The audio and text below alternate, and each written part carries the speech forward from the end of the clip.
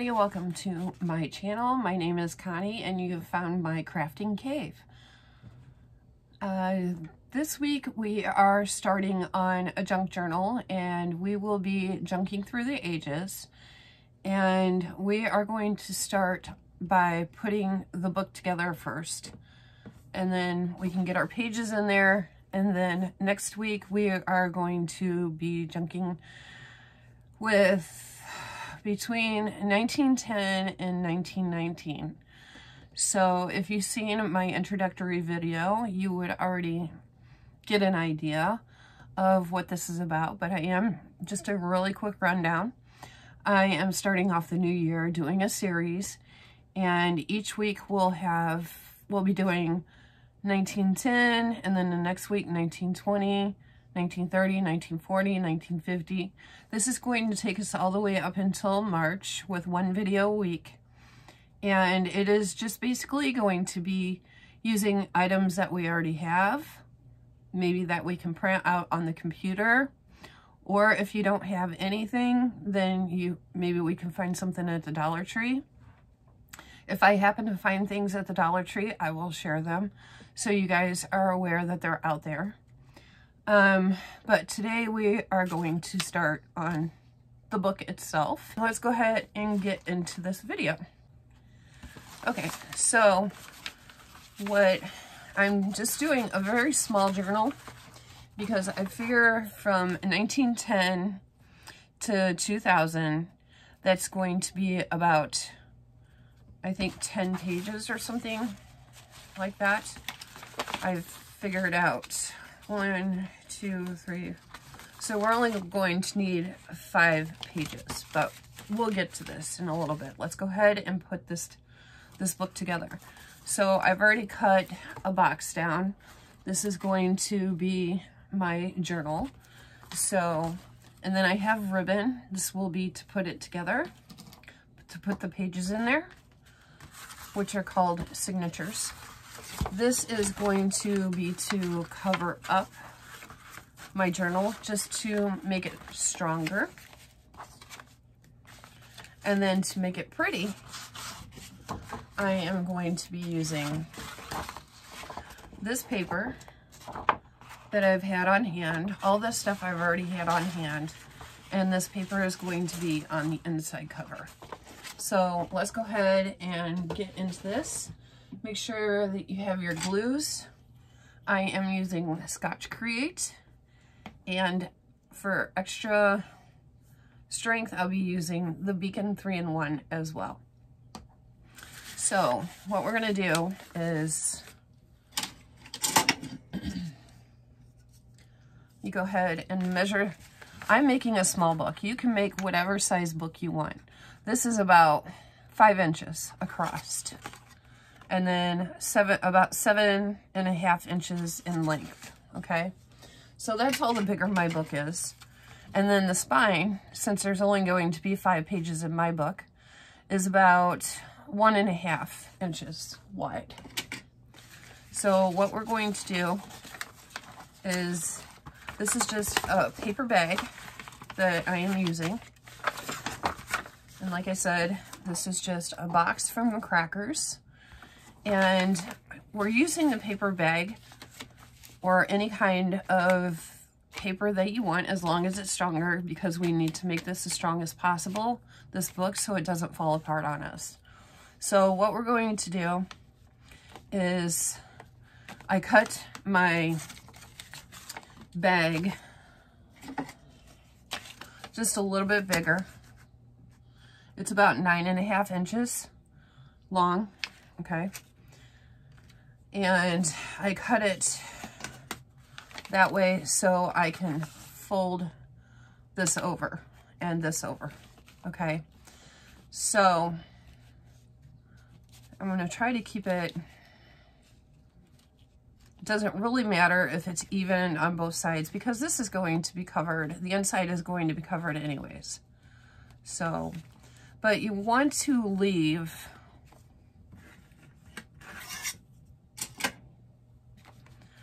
You want to leave a little bit of a gap between your back cover and your spine and your front cover and your spine. just so your book can easily move, okay? Just a little bit of a gap, maybe a quarter of an inch or if that. Just a little tiny, just a small gap. Actually, this might be, yeah, this is straighter. So just kind of getting an idea of where putting it together to where I kind of want to glue it in. And I'm just going, after I move it, I'm just going to mark it here so I know where I want to glue it on that side.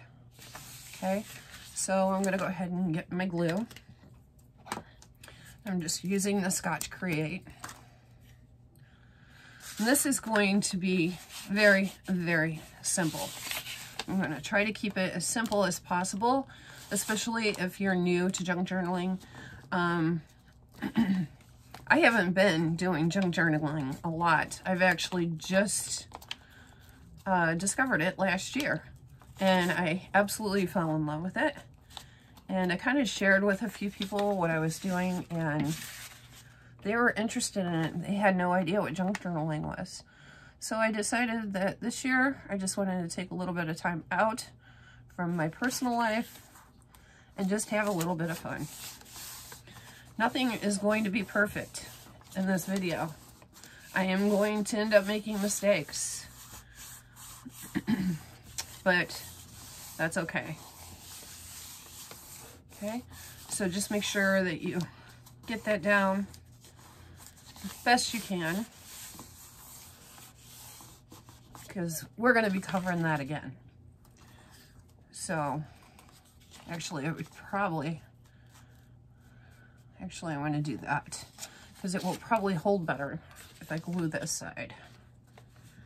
Doesn't really matter what side you glue. Just make sure that you have enough on there to hold your book together.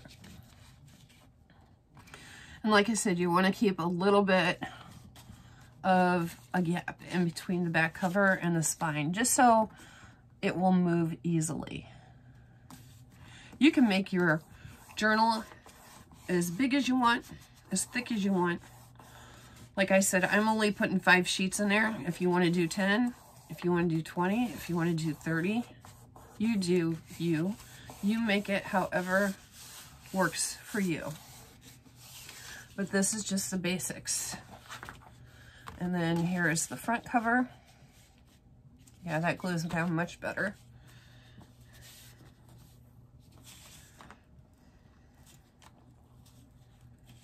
Glue that. And don't be chintzy with the glue. Use it. This glue I picked up from Amazon, but I think, I'm pretty sure that I've seen it at the craft stores and stuff. Now, is that straight? No. Do I care? No. Is my book still going to work? Yep. Not going to see that anyways.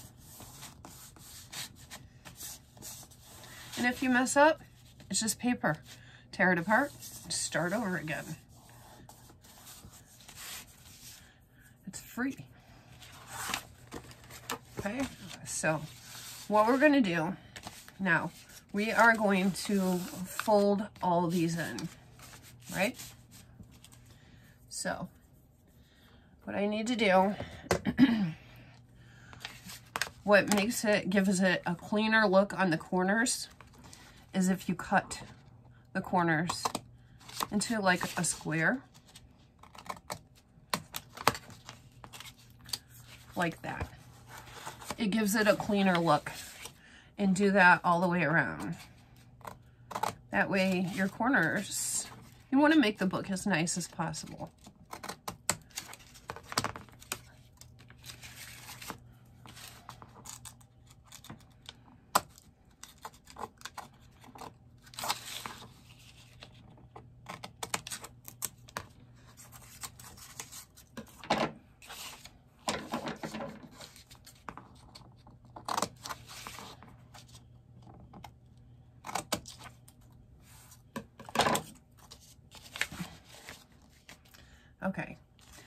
I have all corners cut.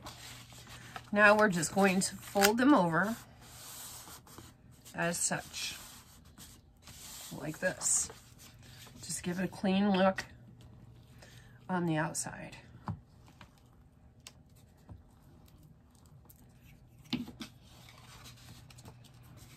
Doesn't matter if you start at the top, the bottom, the middle. Well, there is no middle, but you know what I mean. Top, bottom, sides, does not matter because all this is going to get covered up. Let's pull it tight.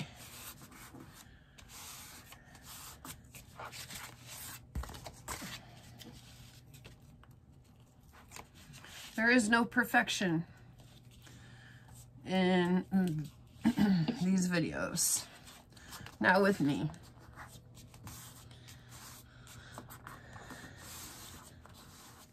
Because they all come out the ways they're supposed to in the end. So it doesn't matter how you get there.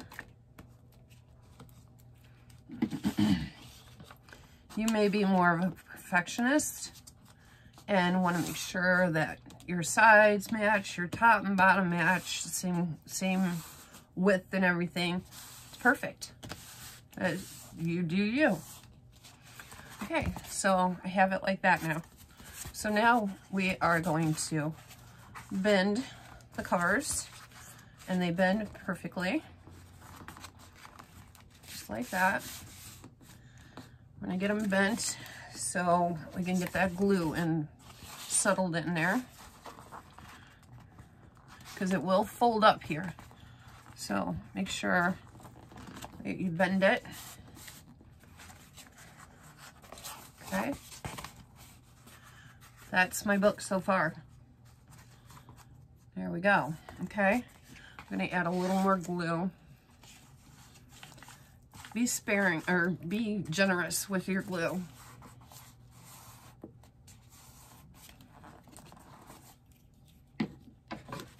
If you have a rolly thing, you can use the rolly thing. A brayer. uh, otherwise, I just use the back of my scissors.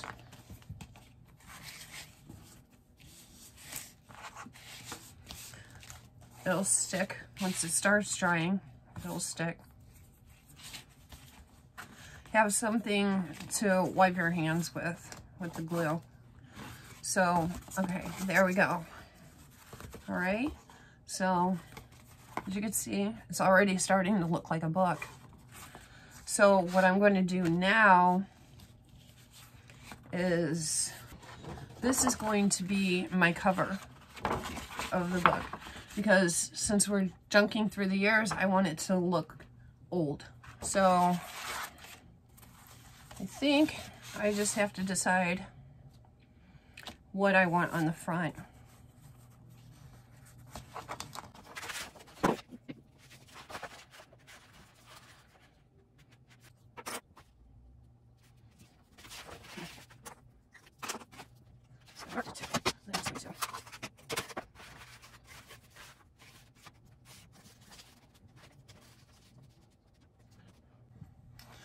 All right, so I get this cut down to the size I need it.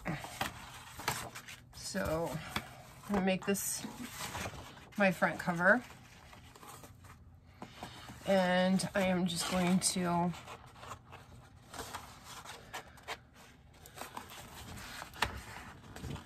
kind of get this straightened out to where I can cut it again to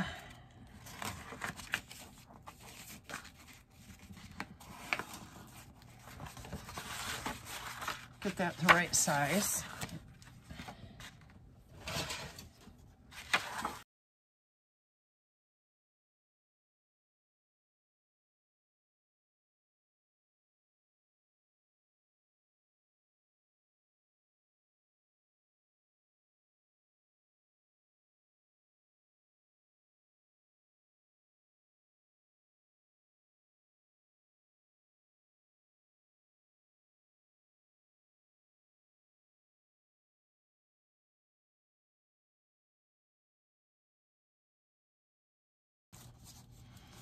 I don't want it to go into the bend.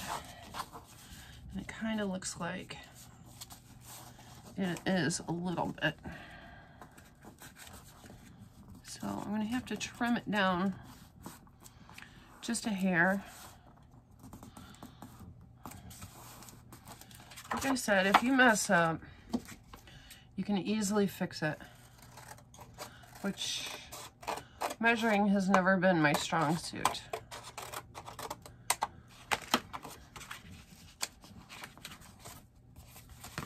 Make sure that you don't, if you have a print, make sure that you don't do it upside down. So I, I think I'm gonna like that. So let's go ahead and glue that.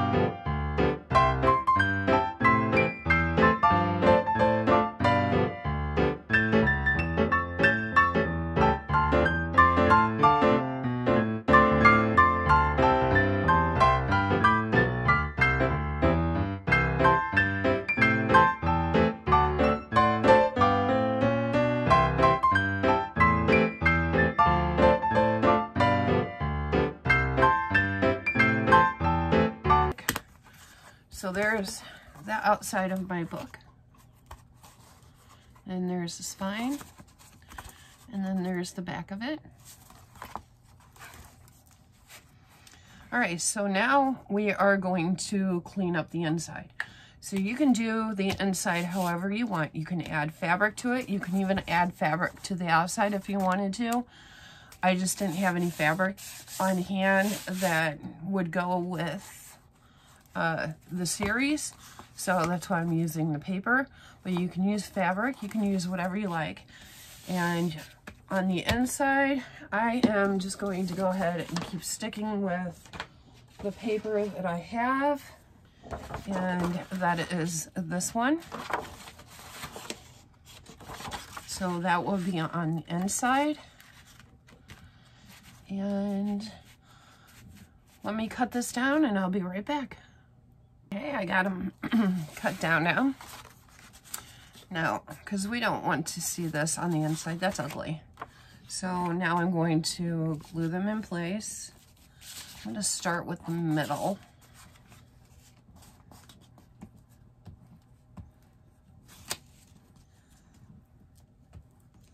Oh, by the way, before I forget, if you want to put a closure on your book, this is the place to do it.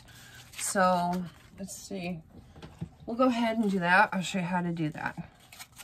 I have a piece of ribbon here. You can use string. You can use whatever you want as a closure. This is brand new.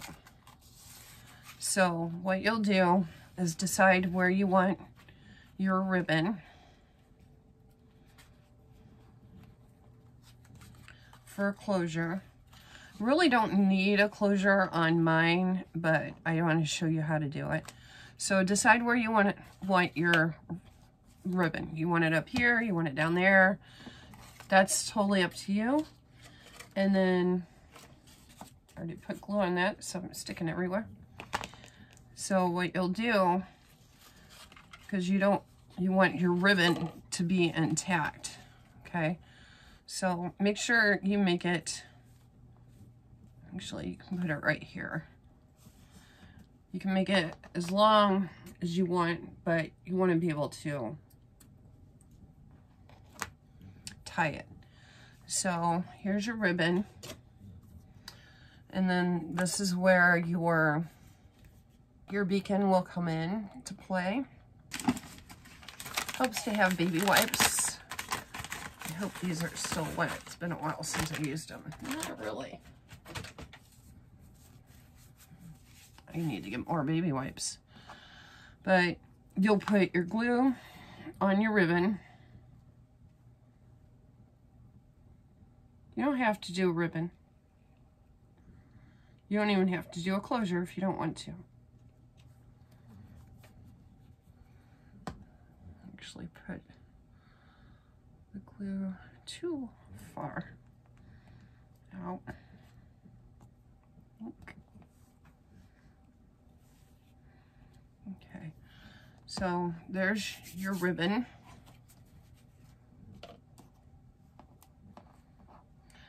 I didn't really want to do that that wide, but we did, so we're going to go with it.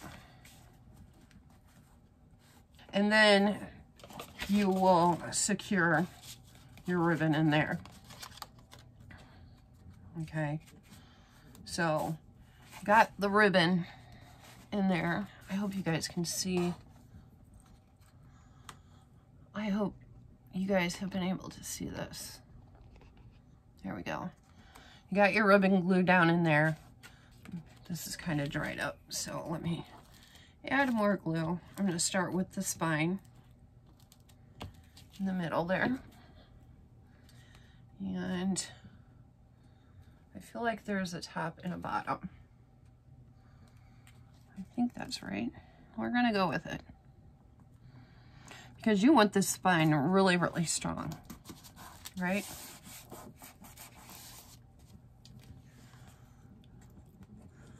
Add some beacon in there.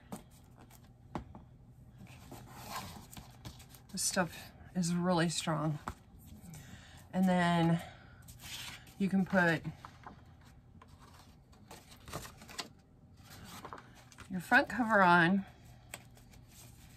And this is going to not only cover the ugly on the inside, it's going to help hold your ribbon into place.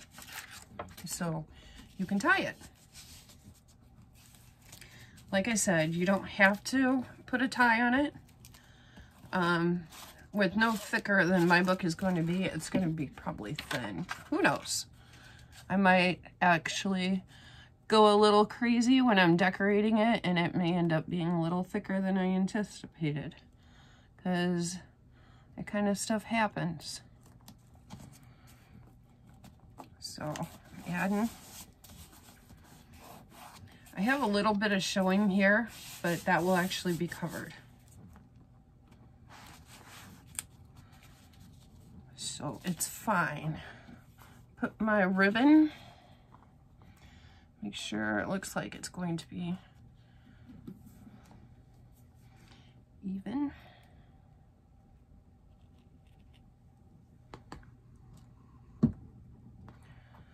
Just want to even it up.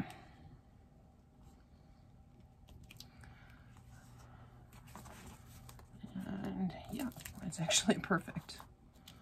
That never happens to me. Go ahead and do a little more just to make sure she's gonna stay. Now we'll put the back.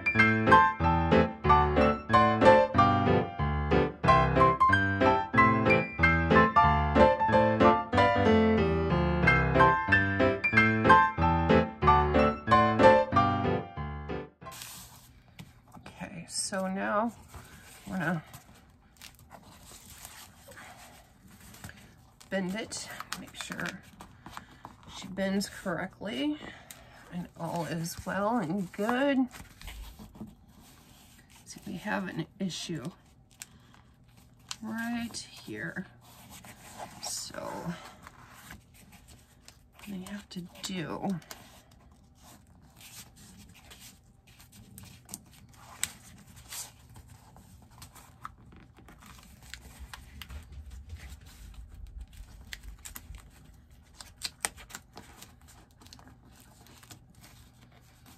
I need to trim this up.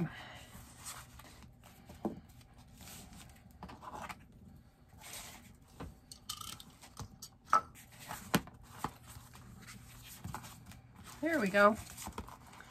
As I said, I'm still new to this, so mistakes can be made. I'm not perfect.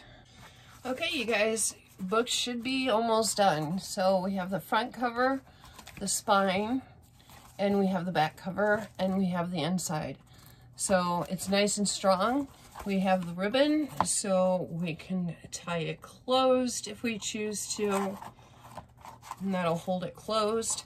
So the next thing we need to do is we need to put our signatures in. So what you'll need is your ribbon. You can use a twine. You can use a strong um, wax string. You can use anything, but it has to be a strong, strong string. It has to be strong in order to hold your signatures in. So I have my signatures right here. And like I said, I'm going to be using five signatures. And your signatures are just your papers. So I have my papers all settled in here like so. Now they have to be able to fit into your book. See, my, my papers are a little too big for my book if you can see that. I'm sorry about the angle. I've had some camera problems, so I'm just trying to get this correct. I think that might be better. Um, as you can see, I don't want my papers sticking out of my book. I want them to be able to fit in my book. So I have my papers. This is five papers, and this should get me through to I believe. Let's see. That one I'm going to just decorate some other way.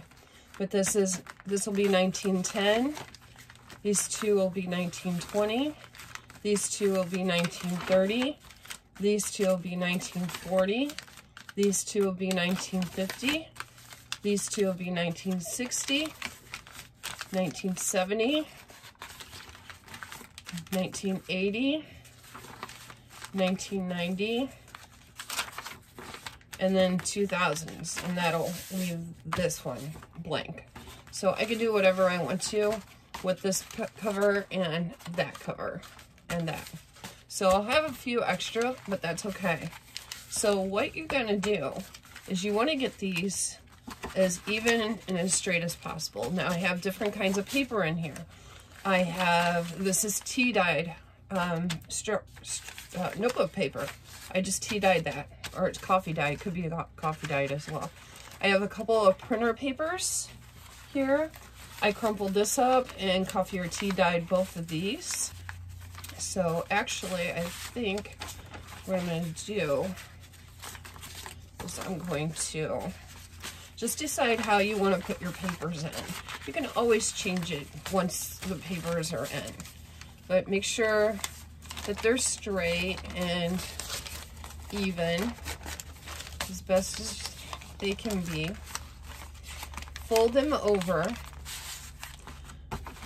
And this is one of the papers I'm using as well. This is part of the thing there. All right, so what you're going to want to do is you're going to want to cut them down to fit nicely into your book, right? So decide how you want it to fit in your book. Your ribbon is going to go here on the spine. So it's going to be about right there, okay? So your book is going to be in the middle it's going to be sitting like this. Now, there in this spine, there's re, there's a room for two signatures if I want to, but this allows it to uh, expand as I decorate it. So I'm okay with that spine. So I'm going to go ahead and cut this down to fit into my book and I will be right back. I got it all cut out. I just took it, put it in my book, and took a utility knife and cut it off that way, measured out, cut it off, and then I did the same for the side too. It gives it a little bit rougher edge when you do it that way. And some people take like a sanding block or something from the Dollar Tree and they'll sand that. But I like this kind of an edge. So it depends on what you want to do. So you'll take your signature pages, you'll take your pages, you'll open them up, you will put your ribbon in the middle as such, like this. Just give yourself enough ribbon. Okay. And what you'll do is you're just going to tie it around the spine of the book. Okay, so make sure that you pull it taut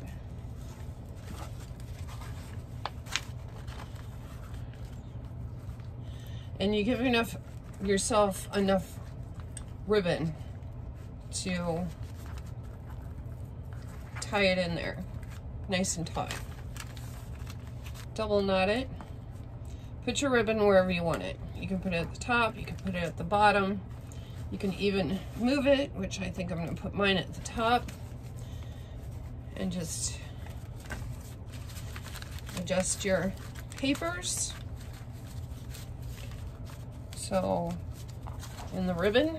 So the ribbon's in the middle. And you have your very first junk journal. Not bad, huh? Not bad. So you can adjust this wherever you want.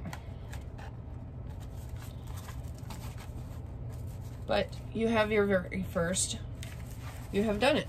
Very first junk journal. So, next week, we will be going and decorating the first two pages, or one, whatever you want to do. I'm going to be doing two. And it will be 1910. Now, let me give you a little bit information about 1910. So if you're following along in this series with me, then you can gather your supplies or start thinking about how you want to decorate your planner or your journal. So, um, some facts about 1910. 1910 was is was also called the Edwardian era. Uh, the Boy Scouts were founded, and also the Titanic sank. Uh, music was starting to get popular then, and it was jazz, blues, and ragtime. And the film industry moved to Hollywood, so the films were starting to get longer. The colors that were used for decorating and stuff were white, black, shades of gray, or brown. Accessories for women were gloves, handbags, furs, and jackets. Toys popular were Raggedy Ann, Tinker Toys, and Lincoln Logs. The biggest sport going on was baseball. And popular brands of food and things like that were Wrigley's Gum and Palmolive were popular then. Uh, electronic refrigerators and air conditioners were starting to come about. There was the War of 1910. For fun, they went roller skating and cycling. Interior design style was arts and crafts and art nouveau. So they used a lot of wallpaper back then, florals, purple flowers, and sunny flowers. And their colors, orange and yellow, pretty much. So that kind of gives you an idea of maybe things to think about when you are getting ready to decorate your journal. Um, maybe you just want to do fashion or maybe you want to focus on the Titanic. Or maybe you want to focus on a baseball theme. Or um, the fun stuff. Music, roller skating, toys, Raggedy Ann, Tinker Toys, Lincoln Logs. Just find stuff, scatter around your house, go through your stuff in the house. Maybe you have old letters or postcards or memorabilia that was passed down to you. Maybe that was from 1910. Uh, maybe you know something about the War of 1910, so maybe you could do something like that. It just gives you something to chew on and think about before we start decorating. So, all right, guys, we got our first journal done. And next week, we will be getting it decorated. So I hope you enjoyed this video. Make sure you give a like, a thumbs up, subscribe, because this is where it gets fun, when we start journaling. And um, until next week, I'll see you later. Bye.